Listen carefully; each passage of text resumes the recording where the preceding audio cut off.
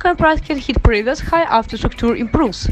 CoinShares CEO. UK cryptocurrency investment product and research provider CoinShares believe Bitcoin will hit previous high after people build on the ecosystem.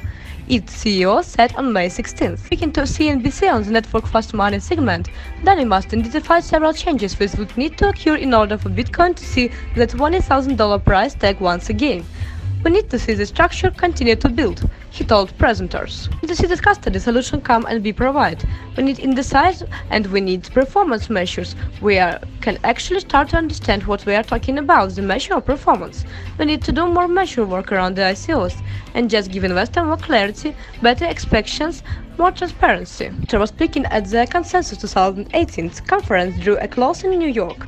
They even received criticism this year after Bitcoin industry figures said it focused too much on the blockchain-based token and buzzwords instead of examining progress. In summary comments online, Bitcoin core developer Johnathan Corgan even describes the atmosphere like uh, popular kids are publicly bashing and geeks and nerds while private trying to copy their homework. Outside, traders were also disappointed by the publishing price forecast on the back of the conference, such as the 70% gains from the Fundstrat Global Advisors co-founder Tom Lee so far failing to come true. For masters, however, a longer-term first more advantages is a deceive aspect of Bitcoin.